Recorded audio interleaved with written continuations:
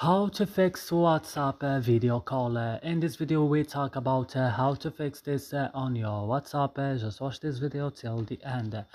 So first you need to go and open the settings of your phone then go directly and open apps option. Here on apps option you have to search for WhatsApp. Open WhatsApp like this and go now to storage option go now to the, the last button clear that and click ok and then go back and go to permissions option and go to calls here call logs and you have to allow it. And after this your problem will be solved. I hope this video is helpful for you. Don't forget to like and subscribe in our channel. See you in another video